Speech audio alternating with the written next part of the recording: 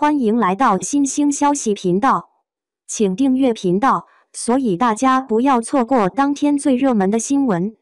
我们今天的时事通讯包括以下内容：大 S 力争抚养权，为何赵丽颖、孙怡和杨颖不争？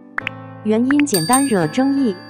娱乐圈中明星们的私生活非常的精彩，明星们的感情生活也是广受关注的。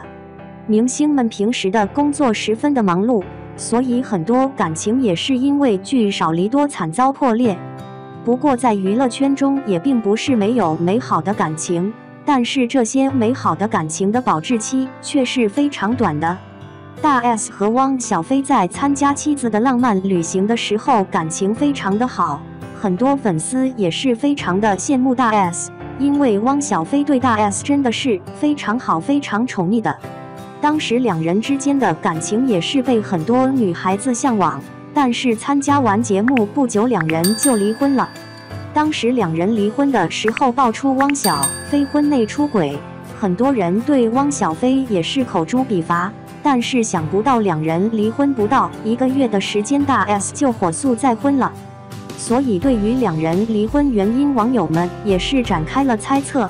特别是在大 S 再婚之后，两人之间的事情更是闹得沸沸扬扬。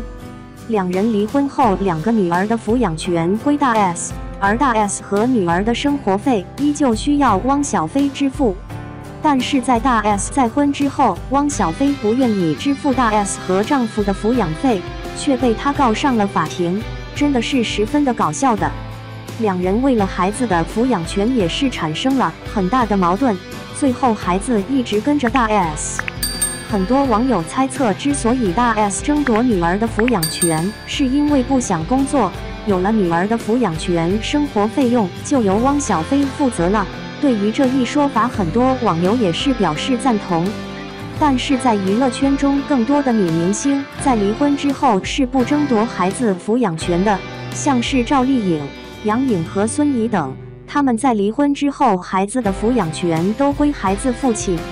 其实，作为明星这样做的原因也是十分的简单，因为女明星的工作十分的忙碌，经常天南地北的飞，即使要了孩子的抚养权，也无法经常陪伴孩子。而男方的经济实力十分强，女方在供工作之余陪伴孩子也是一样的。而且很多网友也是表示，孩子跟着男方。户口跟着男方接受教育也是更加有利的，所以这也是很多女明星不争夺孩子抚养权的原因。自己没有时间给孩子无微不至的照顾，经济实力也比不上男方。但是大 S 不同，她还要依靠汪小菲抚养女儿和自己，甚至还要前夫负责现任丈夫的生活费，所以才会大肆争夺孩子的抚养权。对于今天的内容，大家有什么想说的吗？在评论区中留言交流吧。